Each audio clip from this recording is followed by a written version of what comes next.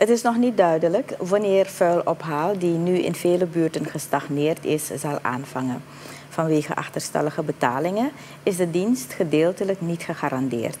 Het ministerie van Openbare Werken bevestigde dit gisteren via haar Facebookpagina. Minister Riyad Noor Mohamed van Openbare Werken stelde eerder uit te kijken naar de middelen om de vuilophalers uit te betalen. Zes maanden terug had ik al gezegd dat de begroting goedgekeurd was voor de helft van vuilophaal. Nou, we zijn zes maanden verder. Dus uh, ik heb een nota van wijziging ingediend bij het parlement om te kijken voor de volgende zes maanden om middelen te krijgen. En uh, je weet bij vuilophaal, de mensen zijn lang niet uitbetaald, dus het drukt een beetje zwaar. En als je geen middelen hebt, dan gaat het moeten stoppen, ja. De minister zegt te onderhandelen met het ministerie van Financiën en Planning over het vrijkrijgen van middelen om de aannemers uit te betalen.